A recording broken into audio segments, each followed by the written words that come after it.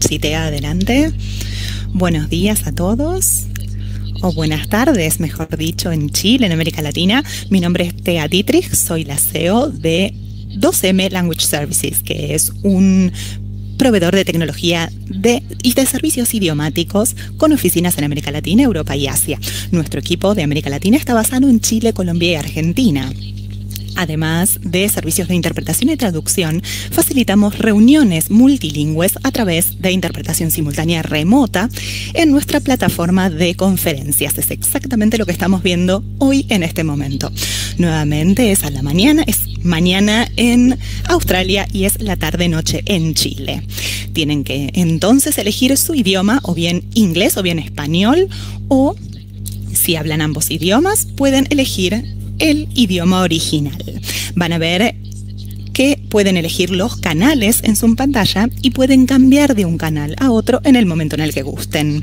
Los aliento, ya que sé que muchos de ustedes van a hacer presentaciones en inglés en el día de hoy y muchos de ustedes entienden tanto inglés como español. Pueden probar, escuchar un poquito de español, escuchar a las dos intérpretes de conferencias que tenemos colaborando con nosotros hoy. Van a encontrar allí el chat, que es lo que dice mensajes o mensajería en la parte superior. Luego dice participantes, allí pueden hacer sus preguntas y si tienen algún tipo de problema, utilicen la parte inferior en donde dice soporte técnico. Esperamos que disfruten este webinar con esta experiencia multilingüe. Esta conferencia multilingüe se puede utilizar de manera individual como la estamos utilizando hoy, así como también la podemos combinar con plataformas ya existentes como Zoom, Webex o lo que ustedes utilicen. Nuevamente, muchas gracias a las intérpretes, así como a todos nuestros ingenieros técnicos que hacen que sea posible realizar todo esto. Quiero agradecerle a Alabac y a todos los oradores excelentes que van a compartir con nosotros esta mañana. Les paso la palabra entonces a Alabac.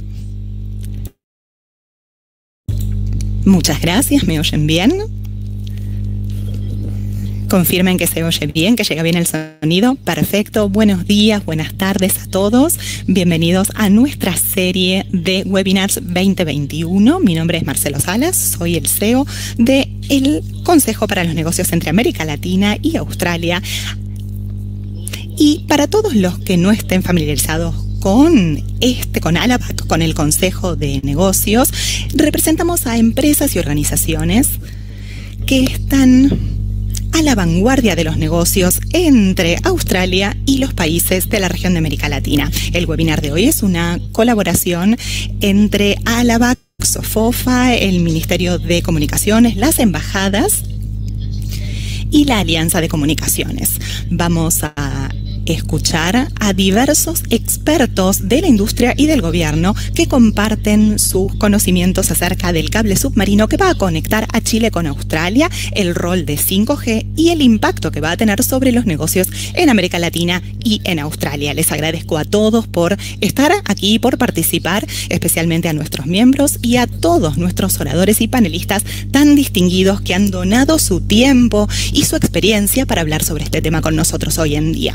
Les recomiendo a todos que lean las biografías de cada uno de los oradores haciendo clic en las fotos que les han llegado en sus invitaciones para poder hacer las presentaciones más cortas. Antes de comenzar, quiero agradecerles a todos por la situación, eh, también por estar aquí en la situación en la que nos encontramos a nivel mundial hoy en día. Para comenzar el webinar entonces me gustaría mostrarles un video con las palabras del ministro de Relaciones Exteriores de Chile, Andrés Alamant, y luego le pasaré la palabra a la viceministra de Telecomunicaciones de Chile, Pamela Guidi, que tiene una gran carrera en empresas multinacionales, ATT, DirecTV, y finalmente a John Stanton, que es el CEO de Communication Alliance en Australia, que va a ser quien modere el panel de los expertos. John es un ejecutivo de la industria que ha estado trabajando con muchísimas empresas de telecomunicaciones como Intelsat en el Reino Unido y Telstra en Australia. Comencemos entonces con el video y muchísimas gracias a todos. Damas y caballeros, en primer lugar, me gustaría agradecerles al Consejo para los Negocios entre América Latina y Australia por haberme invitado a participar en la inauguración de este webinar. Aprovecho esta oportunidad para felicitar a la organización que está por detrás de la creación de este nuevo Consejo de Negocios, el SOFOFA de Chile, así como también al Consejo de Negocios entre América Latina y Australia. Creo firmemente que esta iniciativa va a tener un rol esencial en fortalecer las relaciones bilaterales sólidas y amistosas que han tenido Chile y Australia a lo largo de todos estos años. Hoy estamos observando y estamos tratando de superar los efectos humanitarios y de salud que ha traído COVID. Las tecnologías digitales han desempeñado un rol esencial para lidiar con los desafíos que nos trae la crisis actual. No solamente la digitalización ha facilitado la conectividad y ha permitido la telemedicina, el teletrabajo y la educación online, para que ahora se puedan brindar de manera digital, sino que también ha simplificado el comercio y ha permitido el desarrollo de nuevas tecnologías de, desarrollo que pueden analizar justamente la propagación del virus. Chile cree firmemente que el comercio internacional es esencial para poder mitigar los impactos de la pandemia sobre la economía. De la misma forma, puede promocionar el desarrollo sostenible y a largo plazo. Para lograr la recuperación económica, necesitamos una transición verde, digitalización y productividad sostenible para poder brindar oportunidades de crecimiento para el negocio en nuestros países. Mientras tanto, las tecnologías emergentes, tales como blockchain, la inteligencia artificial y lo que se llama Internet de las Cosas, están alterando, están cambiando el panorama de forma positiva.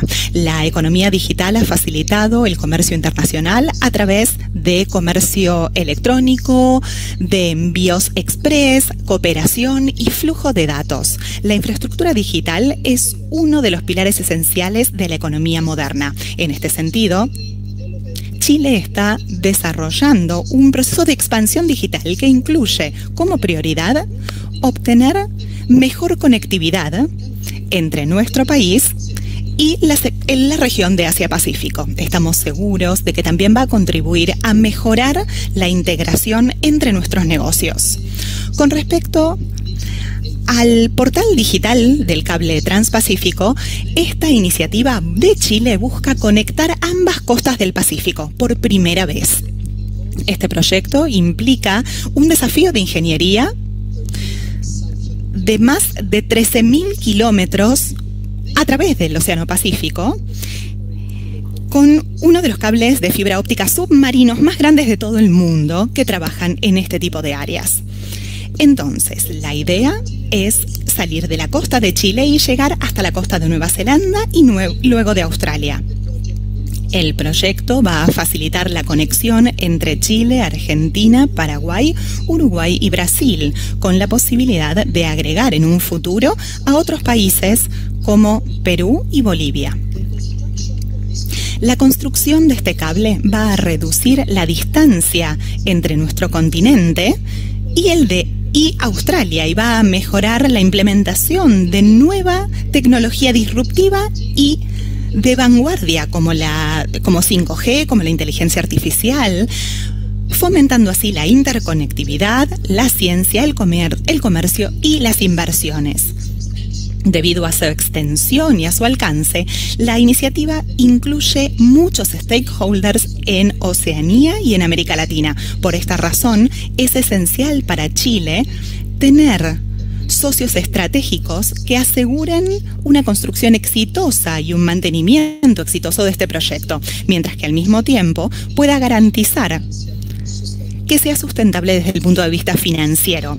Australia es un socio estratégico esencial en este contexto y esperamos que vayan a fomentar la participación de sus grupos de inversión y de empresas privadas en este proyecto, así como también en otros países de la región. Para concluir, me gustaría aprovechar esta oportunidad para destacar que Chile y Australia comparten una visión para mejor prosperidad, no solo en la región de Asia-Pacífico, sino en todo el mundo.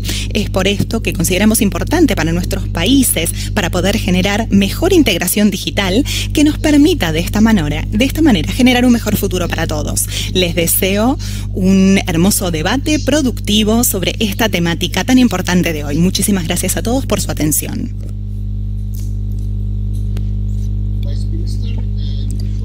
Viceministra, tiene la palabra. Muchas gracias. Muchísimas gracias al embajador, a todos los oradores, a todos los participantes de Australia y de Chile. Es un placer para mí poder participar de este webinar. Les agradezco a Alabac y a Sofofa por la invitación. Esto es significativo sabiendo que esta estructura es esencial para nuestro negocio. Adicionalmente, mirando hacia el futuro, a un escenario post-pandémico, el rol de las telecomunicaciones telecomunicaciones y de las redes va a ser aún más significativo. Hace dos años, el subsecretario de Telecomunicaciones de Chile decidió hacer que Chile fuera un centro esencial, concentrándonos en tres pilares en los que ya estamos trabajando. En primer lugar, duplicar la fibra óptica en Chile para fortalecer lo que ya tenemos, aumentar la conectividad internacional y en tercer lugar, hacer la implementación de las redes 5G y del ecosistema de 5G. Para el primer pilar estamos desplegando más de 15.000 kilómetros de fibra óptica, tanto de manera terrestre como submarina, para que haya mayor capacidad interna y esto nos va a permitir a todas las municipalidades poder tener acceso a una conexión de fibra óptica que tenga la mayor cantidad de capacidad de transmisión de datos dentro de nuestro país. Al mismo tiempo, el segundo pilar en el que hemos trabajado como para poder mejorar la conectividad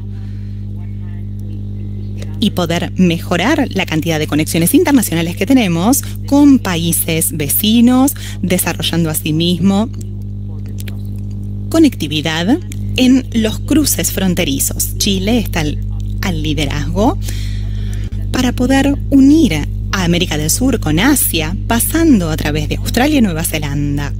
Todos los estudios muestran que estamos listos para la próxima fase, es decir, la ejecución. Con estos desarrollos, más las inversiones en Chile, nuestra capacidad va a incrementar un 44% en los próximos años. Finalmente, trabajamos como para poder liderar la implementación de redes 5G, siendo el primer país que tenga esto disponible con más de 1000 MHz asignados a las empresas de telecomunicaciones internacionales. Esto muestra lo atractivo que puede ser la industria en Chile dentro del contexto incluso marcado por la pandemia, con esta recesión económica y con la necesidad de inversión en nuestra región. El área de telecomunicaciones va a liderar la recuperación, ya que implican más de 3 mil millones de inversión en nuevos proyectos que se pueden implementar en los próximos años con respecto a la tecnología y con miles de trabajos y desarrollos en la nueva industria que van a jugar un rol esencial para la recuperación económica del país en los próximos años. 5G es esencial para nosotros, según muchos estudios realizados. Todos están de acuerdo en que 5G va a provocar un aumento de un punto del PBI por año de ahora hasta el año 2035, junto con innovación y con la creación de valor. Esta infraestructura de 5G es lo que le va a permitir a Chile poder competir en la economía digital 4.0 con la Internet de las Cosas, la inteligencia artificial y todas las nuevas industrias que van a surgir a partir de esto. Como resumen, tenemos que unirnos con estas iniciativas como el cable, transpacífico que mencionamos hoy y los anuncios que han estado ocurriendo en Chile para el desarrollo de una nueva plataforma que va a fortalecer la posición de Chile en el nuevo mapa económico.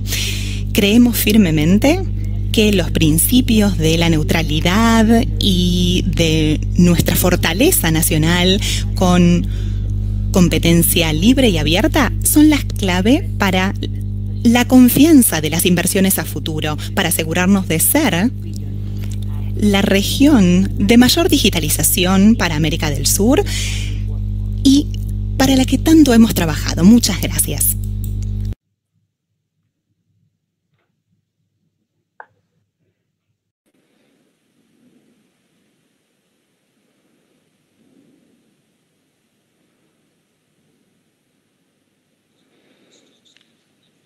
John Stanton de Communications Alliance, muchas gracias por su comentario, realmente por su presencia, que es sumamente bienvenida en el evento de hoy. También quisiera darle la bienvenida a los embajadores, a todos los demás oradores, participantes de este evento. Debo decir que abrir nuevos caminos digitales es sumamente importante, no solamente desde el punto eh, de perspectiva de Latinoamérica, sino que viene en un momento exacto, ya que estamos llegando a el momento culmine de la Internet de las cosas y vemos todo lo que puede ser propiciado por la inteligencia artificial y el 5G. Las dos regiones económicas en el pasado se han relacionado indirectamente desde el punto de vista de viajes, conectividades y de algún modo esto a veces ha detenido la colaboración y ahora es un buen momento para activar estas oportunidades. Creo que este nuevo ecosistema compartido de conectividad, utilizando el poder de 5G, inteligencia artificial y demás, y esta colaboración dinámica que podemos crear entre los individuos y los negocios desde cualquier perspectiva se puede ver como un augurioso futuro, ya sea las partes interesadas de Chile, también a la BAC, por supuesto.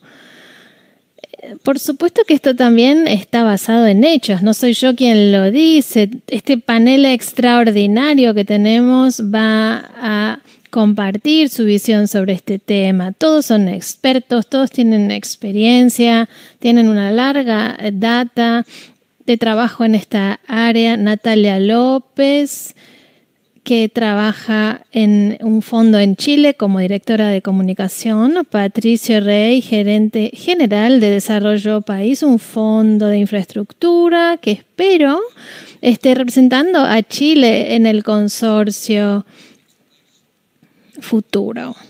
También se encuentra con nosotros un hombre sumamente experimentado en este tipo de proyectos, que es el jefe de Eiki Cable, Hawaii Cable, me refiero a Remy Galazo.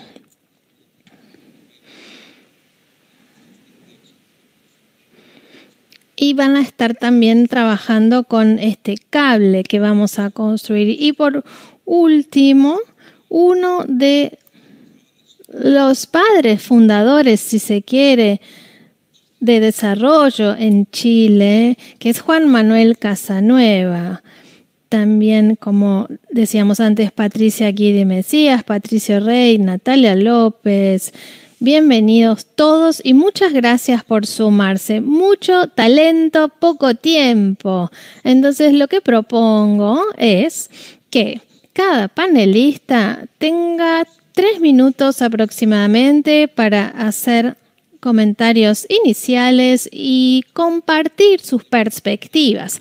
Luego pasaremos a preguntas puntuales sobre la naturaleza de los proyectos que están siendo creados y tal vez tengamos un poquito de tiempo al final para preguntas y respuestas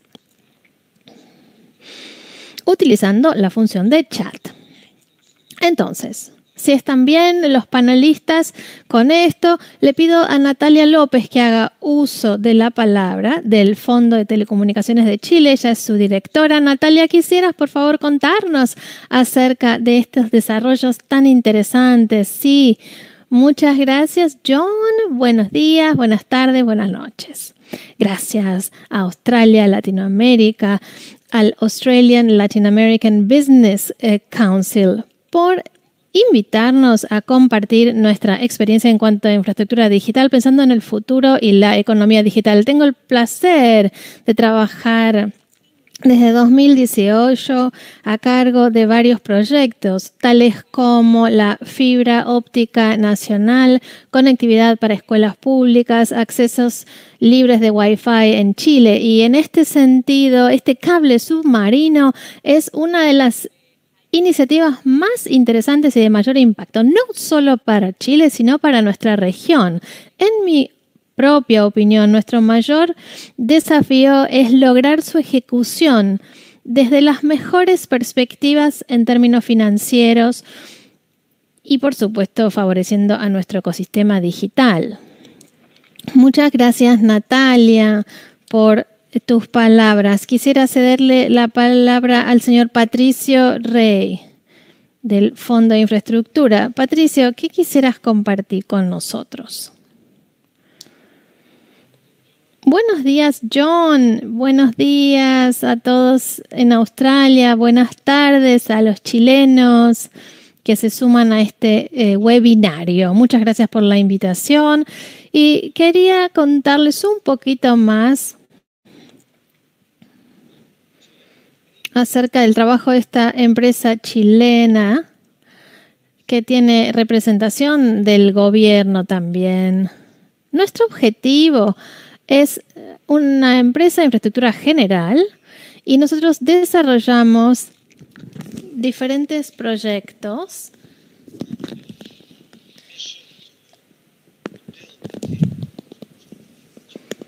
en Australia y en Chile. Isabel, representada aquí por la subsecretaría, nos confió con su proyecto más ambicioso, que fue la construcción de este cable que une por primera vez la región sudamericana con la región del Pacífico Sur. Y también implica la soberanía de datos poder brindar este canal moderno de comunicaciones. Entonces, sumamente ansiosos de poder concretar este proyecto y desarrollarlo de modo que rinda frutos para las partes interesadas, los accionistas. Es un gran paso para nuestro país y nos enorgullece liderar este proyecto. Muchas gracias. Vamos entonces a pasar a Remy Galazo para que nos cuente acerca de los desafíos de construir este cable submarino. ¿Qué quisieras comentarnos acerca de esto? ¿Qué tal, John? Gracias a la vaca. En primer término, no quiero olvidarme de agradecerles. Sí, operamos este eh, cable Australia Estados Unidos, Nueva Zelanda y por supuesto que esta iniciativa a partir del gobierno de Chile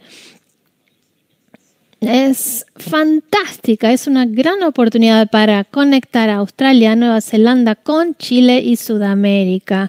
Así que realmente, repito, me interesa muchísimo estar aquí y quiero agradecerles por esta gran oportunidad. Muy amable, Remy, por ese comentario. Y finalmente le cedo la palabra al señor Juan Manuel. Hace décadas ya dejó la ingeniería para crear una empresa de telecomunicaciones en Chile y Latinoamérica. Y ahora tiene un imperio. ¿Cómo ve que será el impacto de la situación actual para Latinoamérica, Asia y Oceanía. el señor Juan Carlos Casanueva tiene la palabra.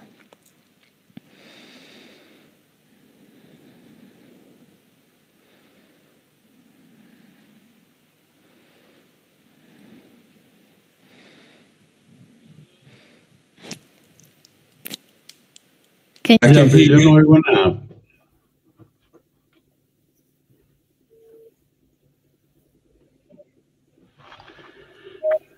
Ya me hicieron la pregunta. Ah, Deberá hablar entonces. Es incómodo hablar sin oír el, el otro lado, pero en fin. Respecto al cable Prat, que entiendo que esa era la pregunta, eh, nosotros partimos con este proyecto en el verano del año 2018 que fue una idea lanzada al aire que fue recibida con un poco de escepticismo en la empresa. Eh, se hicieron los primeros cálculos y resultó que el costo de habilitar el cable de 3.400 kilómetros era de 120 millones de dólares eh, americanos, que es exactamente igual al CAPEX anual que nuestra empresa tiene, de manera que era un, una aventura más o menos complicada desde un comienzo, pero con un poco de entusiasmo se consiguió el financiamiento y durante el año 2018 eh, se hizo la planimetría del fondo del océano y se firmó el contrato con la empresa que nos iba a fabricar e instalar el cable, que lo empezó a fabricar a fines del 2018 que se demoró 13 meses en fabricar, más o menos, porque eran, eran 14 puntos de aterrizaje a lo largo de la costa de Chile y por lo tanto había que hacer 14 carretes diferentes. El cable se empezó a instalar más o menos en, en marzo del año 2020 y se terminó en diciembre del año pasado. No tuvimos mayores tropiezos, salvo algunos inconvenientes en algunos eh, puntos de atraque en que los vecinos estaban convencidos que la fibra óptica iba a producir un daño ambiental gigantesco, que fue un problema que todavía en alguna parte sigue siéndolo. La verdad es que este es un tema que me imagino les tocará en muchas partes, pero es difícil de, de resolver cuando la gente es ignorante y no sabe y se le mete una idea en la cabeza y bueno, finalmente el cable empezó a operar eh, en marcha blanca sin permiso de la Subtel en enero de, del año 2021. O sea, hace más o menos cuatro o cinco meses, llevamos cuatro o cinco meses en marcha blanca, que ha estado funcionando lo más bien. Y esperamos inaugurarlo con la presencia de la señora Pamela ahora durante el curso del mes de mayo en algunos de los puntos donde estamos aterrizando. Lo, importante es que el proyecto comercialmente va a empezar con contratos con tres operadores internacionales muy importantes que para nosotros es una gran satisfacción porque la incógnita principal que había cuando se construyó era cuál era el mercado que tendríamos disponible. Así es que vamos a empezar eh, con el pie derecho y con mucho optimismo de, lo que pueda pasar. Y este optimismo se me ha transmitido al cable Humboldt, que yo lo empecé a conocer también en el 2018 cuando la señora Pamela me empezó a hablar de este proyecto que yo lo hallaba un poco eh, una locura, digamos, porque eran 10.000, 12.000 kilómetros y nosotros estamos en 3.500, que ya era bastante. Pero con el transcurrir del tiempo me he ido convenciendo y sobre todo que nosotros con un cable de 3.500 kilómetros en un país, comercialmente estamos llegando, yo creo, en de aquí a fin de año vamos a llegar al break-even, que me parece el break-even sin capital, y que me parece eh, muy buena meta. Entonces yo pienso que un cable que atraviese hasta Australia y algunos y otros países debe tener una demanda muy importante. Estoy seguro que, que habrá inversionistas que quieran participar. Nosotros nos encantaría, pero, pero la verdad es que yo no creo que cueste, como dice algún informe, 380 millones de dólares. No, no veo cómo. Y en todo caso nos interesaría hacer o participar en la operación del extremo chileno, que al final seguramente se conectar con el cable PRAT nuestro y de ahí podemos llegar a todos los países de América del Sur y América del Norte. Porque tenemos ya un nodo en Sao Paulo y otro en Miami, que son los puntos de, de llegada de información más importantes de, de esta región. Eh, así es que estoy seguro que el, cable, yo le digo cable Pamela, no Humboldt, ¿eh? porque ella fue la de la idea y yo entiendo que ella, por modestia, no le quiso poner ese nombre, además que en Chile no se, no se estila poner nombre a ningún hospital, a ninguna escuela que se viva, que es una muy buena política. De manera que no podía... thank, you for, thank you for those initial comments. I apologize you. Uh, muy elegante, pero en todo caso... Muchas gracias por este comentario. Creo que el cable Humboldt va a tener gran éxito y que va a encontrar financiamiento seguro, digamos, de los fondos de infraestructura, de los operadores. Y desde luego nosotros estamos interesados en que no sea la parte financiera, pero sí en la parte operativa que igual se necesita para que estas cosas funcionen bien. Eso es muchas gracias. Disculpen mi participación un poco errática, pero no sé qué pasó aquí con el computador, que es marca Dell, pero no LG, perdón. Muy bien, gracias, eso sería todo. Yo creo, espero haber hablado no más de 10 minutos. Yes, thank you so much, JM, and uh, I apologize that you are having some.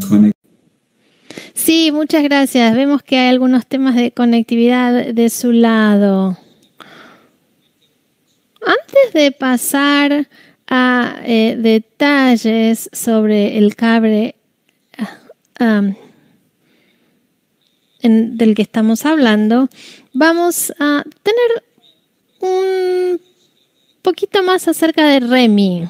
Current global international connectivity market and where this project would, would fit into the, the ¿Puedes contarnos un poco más qué es lo que ves con respecto a la demanda para este cable? Sí, en primer lugar, gracias John. Como todos sabemos, la conectividad internacional, el mercado crece rapidísimo.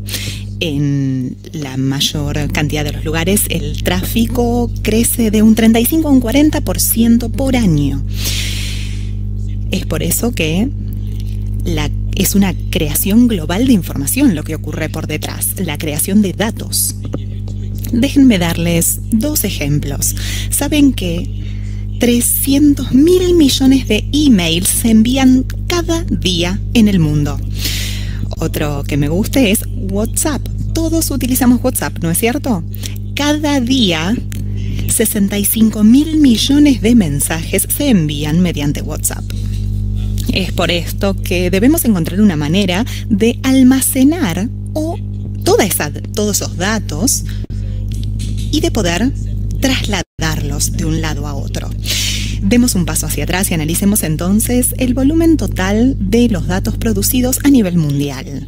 En el 2010, el volumen total de datos global representaba 2 zettabytes, es decir, 2.000 millones de terabytes. 2.000 millones de terabytes en el año 2010. Diez años después, es decir, 2020, fue 60 zettabytes. Y la industria piensa que va a llegar a 150 zettabytes en el año 2024. Es por eso que es exponencial el crecimiento. Estamos en un mercado que crece de manera rapidísima. La industria digital definitivamente va a necesitar cada vez más centros de datos. Y este tipo de uso de cables submarinos para, para interconectar los centros de datos. Los mayores actores dentro de la industria de cables, por supuesto, son los GAFAM, es decir, las empresas Google, Amazon, Facebook, Apple y Microsoft. Los GAFAM ya representan más de un 60% del tráfico global internacional de datos y siguen creciendo. Así que básicamente estamos generando nuevos cables submarinos actualmente para poder abordar los requisitos de capacidad de las empresas GAFAM. Hemos visto en los últimos años que hay muchos centros de datos nuevos que se están creando en Australia, no solo en Sydney, en Melbourne también, en Perth también, en Nueva Zelanda y en Chile. Esta es la razón por la cual tiene sentido, en mi opinión, generar nuevos cables de este sentido, cables submarinos. Por eso es que estamos trabajando con el cable de Hawaii, que es el más grande entre Australia y Estados Unidos, y en Chile es lo que Google ha hecho en el año 2019 con el cable que une Valparaíso con California. En resumen, este mercado que crece rapidísimo nos alienta a generar más infraestructura para poder abordar sus necesidades. Comentarios muy interesantes, Remy, muchas gracias. Exactamente, el efecto dominó sigue ocurriendo porque vemos, por ejemplo, en Australia que hay desafíos con respecto a la mejora o el aumento de la electricidad, la infraestructura de electricidad lo más rápido posible para que pueda estar disponible para la creación de estos centros de datos y para poder tener toda esta explosión de datos bajo control. Así que justamente es un desafío de toda la cadena de suministro poder lidiar con este nivel de crecimiento. Muchas gracias. ¿Puedo pasar nuevamente a Natalia? ¿Podrías darnos tu opinión con respecto a los resultados de los estudios de factibilidad en los que estuvieron involucrados? Es decir, ¿cuál es tu opinión acerca de cuál es el próximo paso a dar de aquí a futuro? Muchas gracias, John. Sí, en primer lugar, quiero destacar lo que dijo Remy. El tráfico es la crisis actual. Todos los años cada vez aumenta de manera más drástica. Más ahora en una época de pandemia, cada vez piden más capacidad y diversidad para poder cumplir con los requisitos cada vez mayores. Con este estudio de factibilidad que realizamos, se analizaron las oportunidades, los riesgos, y las posibilidades de los cables que se implementen entre América Latina y Asia. Se analizaron diferentes cables desde el punto de vista comercial y técnico y el resultado es que el cable submarino a Australia es el camino óptimo. Australia es una ubicación estratégica que nos permite tener un mercado competitivo, abierto y alcanzar los mercados asiáticos a través de estos cables que lleguen a Sydney. Es un estudio que también analizó el tráfico entre América del Sur y eh, la región de Asia-Pacífico por los próximos 30 años y muestra que hay alta demanda fomentada por las nuevas tecnologías como 5G o por la Internet de las Cosas. Finalmente, el estudio de factibilidad concluyó que va a ser un sistema disruptivo en el Pacífico, porque va a ser el primero, va a ser el primer sistema transpacífico del hemisferio sur, trayendo muchas ventajas para países como Australia, Chile, con gran, con poca latencia y mucha capacidad. Este estudio también recomienda establecer sociedades con actores dentro del área de Asia-Pacífico que tengan experiencia y que tengan su propia infraestructura, específicamente en Australia, en donde es a donde va a llegar el cable. Hemos tomado nota y los próximos pasos entonces es buscar socios en el mercado de Asia-Pacífico. Y puedes agregar algo con respecto a los potenciales acuerdos con algunos socios, porque tienen no solamente un punto de aterrizaje en Australia, sino hay otras, sino que también hay otras naciones en el medio y hay acuerdos para poder hacer que todo funcione bien. Eh, ¿Están confiados acerca de cómo funcionan y cómo van progresando estos acuerdos? Bueno, les puedo contar acerca del progreso que hemos hecho en nuestra región al menos. Como saben, para nosotros este proyecto es esencial y Humboldt debe asegurarse de poder lidiar con la demanda de América del Sur hasta Australia, agregándole valor también a la región de Asia-Pacífico y reduciendo la latencia. Para lograrlo, el gobierno de Chile, como eh, para, para promocionar esta iniciativa ha estado ofreciéndole también a los países vecinos la posibilidad de participar en este proyecto. A todas las partes se les van a brindar la posibilidad de unirse a esta iniciativa. Hasta ahora Argentina, Brasil, Paraguay han mostrado su interés en este proyecto. Brasil y Argentina, de hecho, han liderado esta participación desde el comienzo para poder respaldar, para poder respaldar las búsquedas de financiamiento. Argentina firmó un acuerdo con Chile para analizar la forma en la que pueden participar de este proyecto, específicamente en una sociedad que va a estar generada por Desarrollo País. Brasil también ha firmado una, una, carta de entendimiento con Chile para la participación de las empresas brasileras en este proyecto. Y de la misma forma, desde el punto de vista de financiamiento, hay progreso con el Banco de Desarrollo Interamericano y Americano con relación a bancos nacionales y locales para poder ofrecer financiamiento. Así que sí, puedo decirles por lo pronto que tenemos progreso, pero por supuesto el desafío es enorme poder encontrar los socios adecuados para poder armar estas sociedades de trabajo y que sean actores esenciales de Australia y de otros países de la zona asiática. Muchas gracias, Natalia. Y le paso la palabra a Patricio entonces ahora, porque creo que tu fondo, según entiendo, va a terminar siendo el representante de Chile dentro del consorcio para este proyecto. ¿Cuál es tu opinión con respecto a algunos de los desafíos en lo que queda del año 2021 con respecto a la finalización de los arreglos faltantes y la financiación que falta para hacer que este cable, que el proyecto de este cable se haga realidad? Bueno, John, tomo las palabras de Remy, tenemos un gran desafío por delante con respecto a lidiar con este proyecto que tenemos frente a nosotros. La tasa de crecimiento es enorme, tenemos que avanzar rápidamente para poder llegar a estar al día. Tenemos algunos desafíos actualmente que es justamente generar, o sea, crear este cable lo más rápido posible. Ya estamos trabajando en ello, estamos trabajando conjuntamente con Argentina, que es el primer socio que se mostró disponible para empezar a trabajar con nosotros. Al mismo tiempo, tenemos que encontrar socios estratégicos, como mencionábamos previamente. Eh, sobre, somos una empresa de infraestructura, no estamos especializados en telecomunicaciones. Y es por esto que necesitamos encontrar un socio que nos ayude a desarrollar y a operar este cable.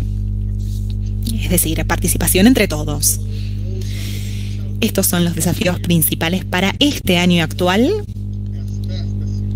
y lo más rápido que podamos comenzar a hacer una preventa del proyecto para de esta manera recaudar los fondos necesarios para la construcción. Perfecto, y confío también en este proceso de identificar a los socios estratégicos que ya tienen algunos candidatos en mente, ¿verdad? Hay una larga lista de candidatos posibles, sí. Natalia, de hecho, ha trabajado junto con nosotros en para hacer esta identificación en todo este proceso de la búsqueda de socios. Tratamos de hacer el proceso más transparente para poder trabajar con estos socios. Hemos estado hablando con empresas en tu región acerca de, bueno, lo, lo positivo de este proyecto. Mi única preocupación es que generalmente Chile y Australia, más allá de las empresas mineras y otras empresas que generalmente están representadas ya en el consorcio, el área de telecomunicaciones todavía no ha visto el mercado natural entre Australia y América del Sur. Es por eso que cuando les presentamos este proyecto, está como por fuera del mapa que tenían en mente. Es decir, no lo habían pensado, no habían pensado siquiera en la idea de unir, de vincular la región de Asia-Pacífico con América del Sur. Es por eso que mm, no es un hecho que ya lo tienen asentado en sus mentes. Sin embargo, hemos visto mucho interés de parte de los socios o de las personas con las que hemos hablado. Así que tenemos confianza de que sí lograremos encontrar un buen socio de manera rápida. Perfecto. Y estoy seguro de que esto representa, bueno, tanto un desafío como una oportunidad para Alabac, para las empresas y organizaciones que están aquí, justamente buscar nuevos socios en la otra parte, en mi parte del mundo, por así llamarlo, y ver qué se puede crear de manera conjunta este entorno comercial tan dinámico, ¿no es cierto?, entre América del Sur y Australia. Me gustaría entonces ahora devolverle la palabra a Juan Manuel. ¿Puedo chequear contigo? Eh, ¿Me puedes oír bien, Juan Manuel? Mm, no estoy segura de si te llega o la traducción o mi voz. Juan Manuel, ¿puedes oírnos? John, creo que no, ¿eh? Creo que no nos oye. Mm, podría... Le podría enviar la pregunta, quizás. Pero ni siquiera estoy seguro de si está conectado o si se ha cortado su conexión. No lo veo aquí en pantalla tampoco. John está intentando reconectarse, no está conectado en este momento. Mm, ok, ok, bueno, no hay problema entonces. Eh, esperamos unos, unos segundos y cuando vuelva, ahí le planteamos la pregunta. Perfecto, entonces. Bien, estamos por pasar al segundo panel, entonces déjenme ver si tenemos alguna pregunta que llegue de la audiencia. Uh, Uh,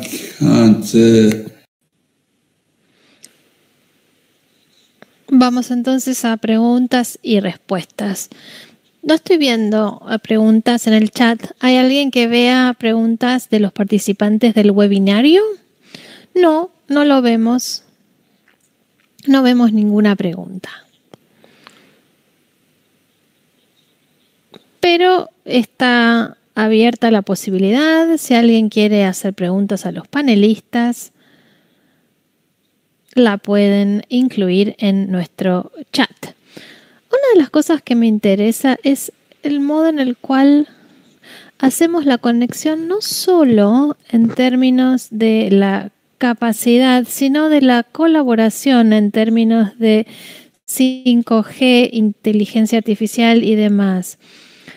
Tenemos eh, actualmente eh, una condición de 5G muy activa ahora. Varios varias empresas eh, celulares. Creo que en Chile son cuatro, ¿verdad? No sé eh, cuántas están trabajando con 5G actualmente. ¿Pueden comentar acerca de eh, cómo es actualmente la situación en este sentido en Chile ahora? Si bien no soy panelista, me gustaría responder. Sí, claro. Nosotros realizamos un proceso sumamente exitoso. Hicimos una licitación independiente eh, con cuatro empresas.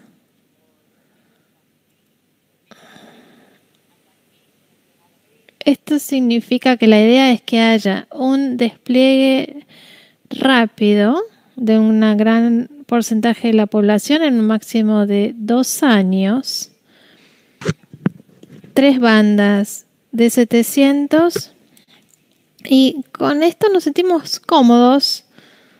Es masivo, funciona bien. Consideraciones especiales han sido realizadas para asegurarnos de que tengamos áreas específicas de ciertas necesidades particulares, por ejemplo, los aeropuertos, rutas logísticas, para que sean cubiertas, además del 96% de la población. Vamos a ver el despliegue ahora en el segundo eh, semestre del año. Fantástico, muchas, muchas felicitaciones.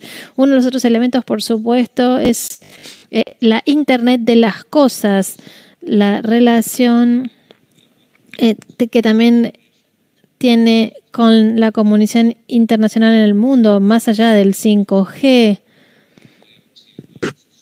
Alianza de Australia con la Internet de las Cosas a la que se llama IoT por sus palabras en inglés.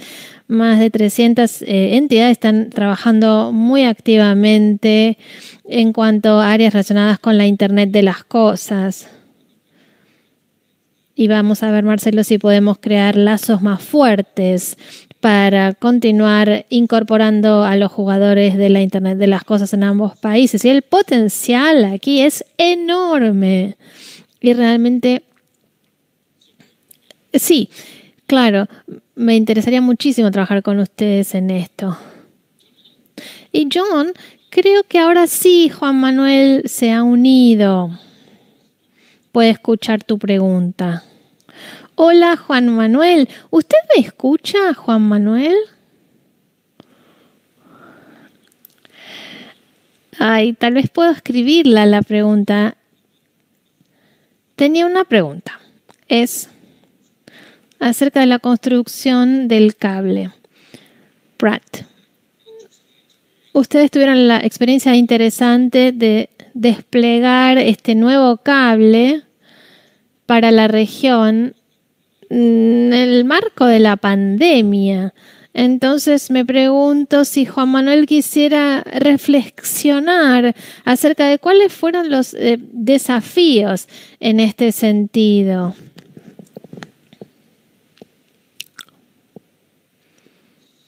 Acerca de estos desafíos. Un segundito, por favor, que le transmito la pregunta al señor Casanueva.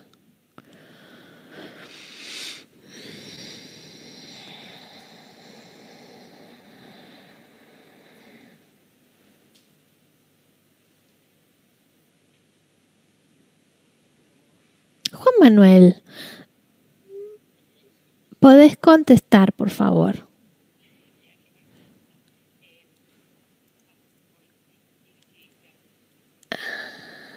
Agregaría que por supuesto hubo un problema. ¿Me escuchan? Dice el señor Juan Manuel. ¿Me escuchan? Eh, Marcelo, una pregunta dice, Your reflection regarding the challenges to roll out the Pratt cable during the pandemic. Eh, bueno, eh, el principal problema es que la gente está asustada y era difícil eh, poder despacharla porque como teníamos 14 puntos de desembarque y el equipo que iba habilitando los nodos era uno solo, eh, era difícil convencerlos de que se fueran yendo de región en región siendo perseguidos por, por, el, virus. Y además que el transporte, el desplazamiento se podía hacer pero no era fácil, así que fue una complicación. Eh, y desde luego eh, todo lo que es materiales necesarios para, para construirlos no, no fue fácil hacerlos llegar yo creo que nos demoramos el doble de tiempo que si hubiera sido un tiempo normal. Eh, pero al final se pudo y realmente eh, los equipos que trabajaron en amarrar el cable, construir el nodo, instalar los racks y todo el equipamiento han sido, fueron muy premiados por la empresa porque gracias a ellos se pudo hacer todo. Afortunadamente en GTD la gente tiene mucha mística y, les gusta trabajar en la empresa, así que no es mucho el esfuerzo de convencerlos que se esfuercen un poco más. En este momento tenemos todavía eh, el 90% del personal en sus casas. Los únicos que están en terreno son la gente instalaciones y, y mantención porque a pesar de la pandemia, estos meses han sido meses de ventas extraordinarias, o sea, la demanda por servicios internet y servicios de comunicación ha sido muy, muy fuerte. Y claro que hay que instalar, eh, así es que yo creo que ya el cable instalado eh, y operando como conté que, que era el caso, ya uno está tranquilo de que no, no vamos a tener inconvenientes eh, adicionales. Hemos tenido, y lo digo a título de información, algunos problemas con los cables de la pesca de arrastre que nos ha roto dos veces el cable. Y por suerte no ha sido un corte total, sino de algunos filamentos.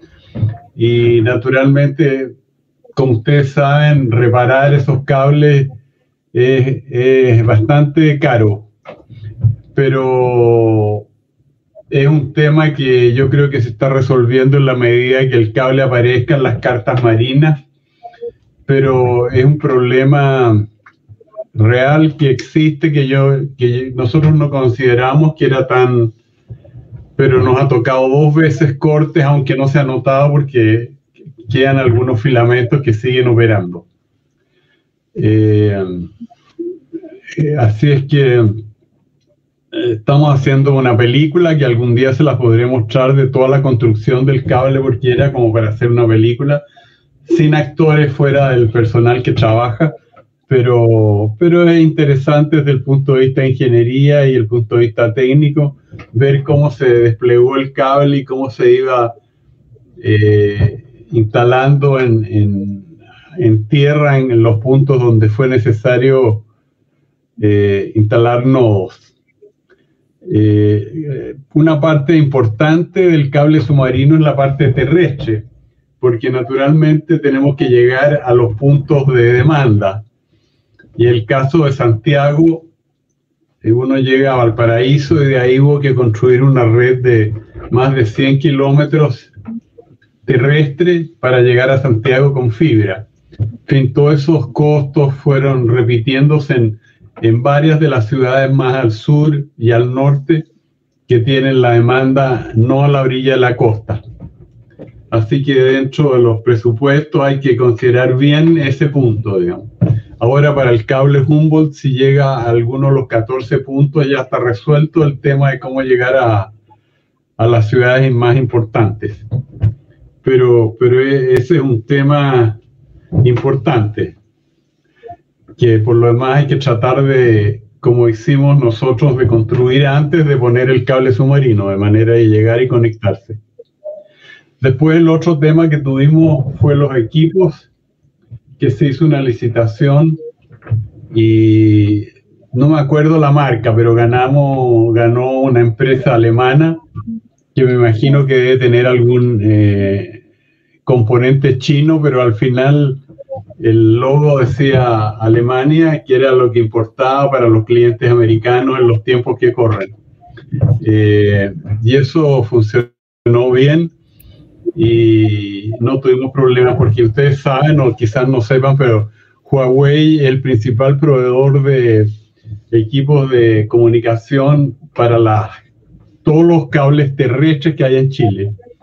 Así que era probable que Huawei hubiera ganado, pero, pero por algún motivo salió un poco más caro. Con lo cual algunos clientes nuestros americanos se relajaron y, y pudieron contratarnos los servicios. Cuestiones absurdas, pero en fin, así es la vida real. Eh, bueno, yo, yo ya he hablado mucho, me parece, aunque no los no lo he escuchado a ustedes, lo que lamento enormemente, pero, pero igual estoy a su disposición, si no personalmente por correo, cualquier duda o consulta que quieran, yo feliz lo, les contesto, a pesar de las 12 horas de diferencia que tenemos con Australia, que tratar de no hacerlo a las 3 de la mañana, pero siempre se puede acomodar algún, algún horario. Muchas gracias. Thank you very much, uh, JM.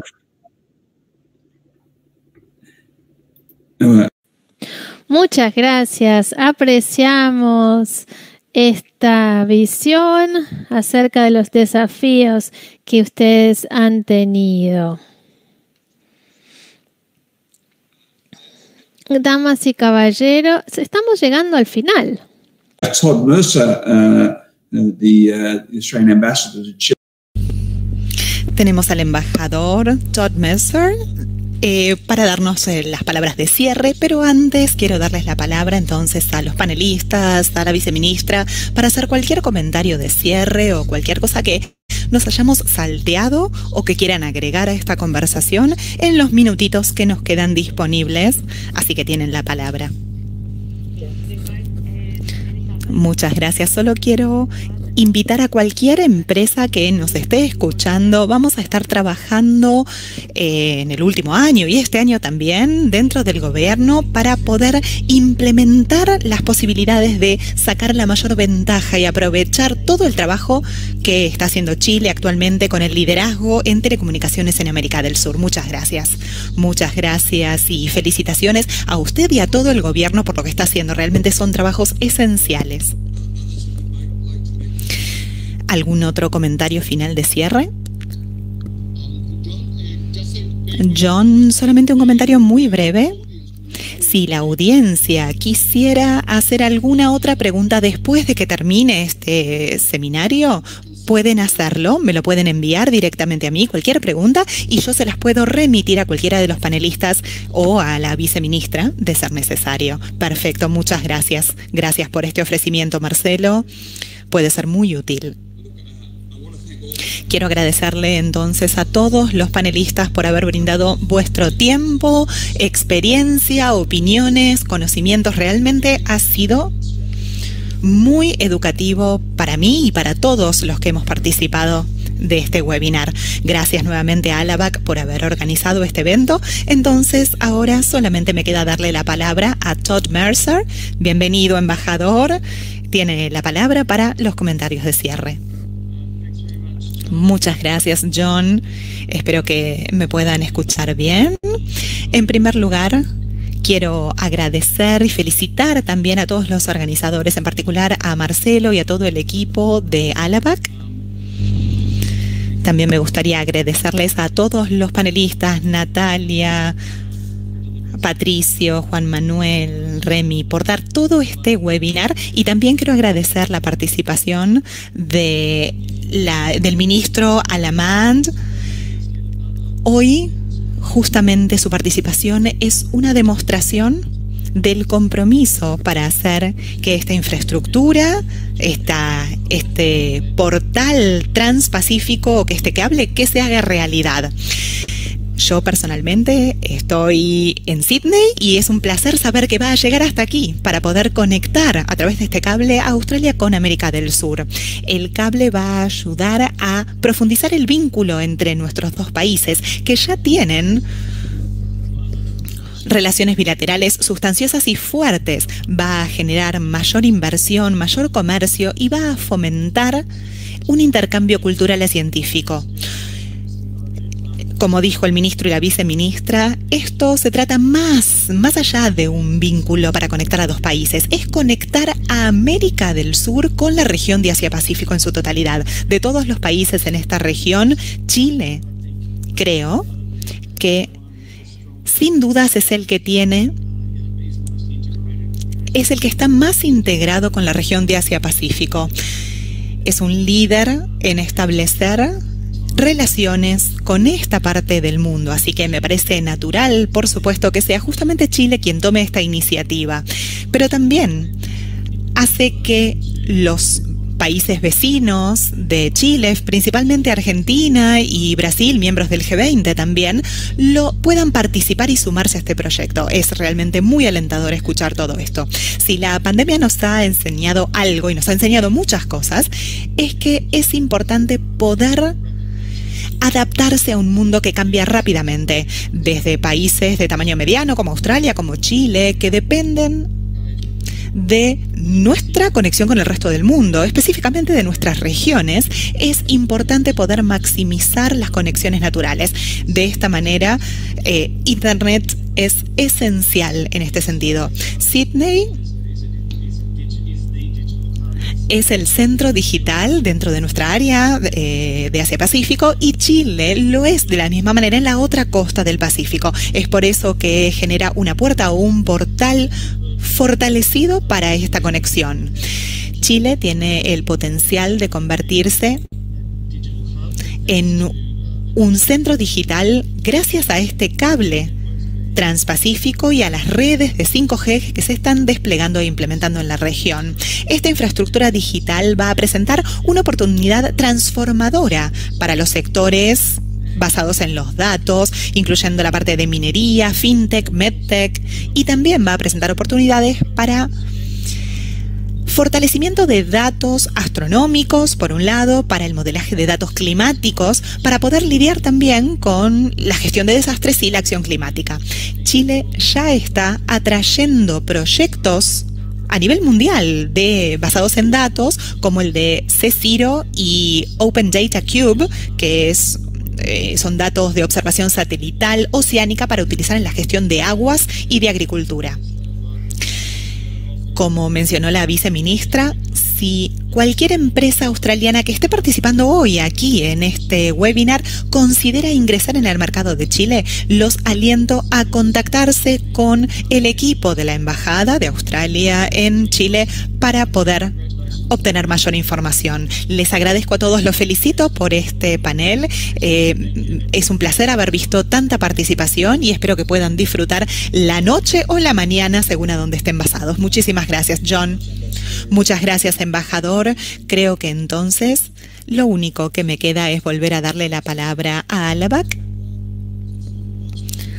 para finalizar la reunión de hoy. Muchísimas gracias, John. Simplemente, nuevamente comentarios finales. Si necesitan algún tipo de preguntas, habíamos tenido unos problemas con el chat, así que por favor me las envían directamente y yo se las puedo reenviar al panelista que corresponda después. Muchísimas gracias nuevamente a todos, a los participantes, así como también a la viceministra, a Pamela Guidi y al embajador Todd Mercer y a todo el resto de los panelistas. John, muchas gracias por ser el moderador de este panel. Ha sido muy interesante. Me disculpo por las dificultades técnicas. Pero seguimos aprendiendo estas nuevas tecnologías, así que esperamos verlos en persona pronto, en lo posible aquí, en Chile o en Australia. Muchísimas gracias a todos.